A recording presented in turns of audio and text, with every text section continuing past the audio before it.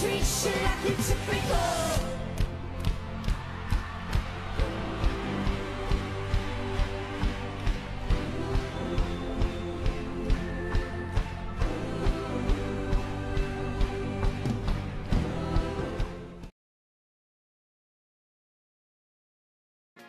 Pop Album of the Year Wildlife, Hedley.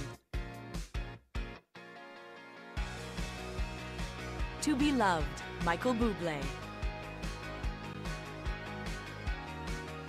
Blurred Lines, Robin Thicke. Heartthrob, Tegan and Sara. Revo, Walk Off the Earth.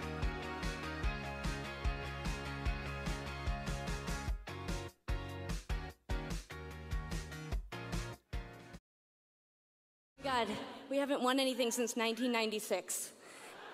I can't, well, we want to start with our piano teacher, which was the last time we were awarded something in 1996. Um, it's true. Uh, we've been doing this for 15, 16 years.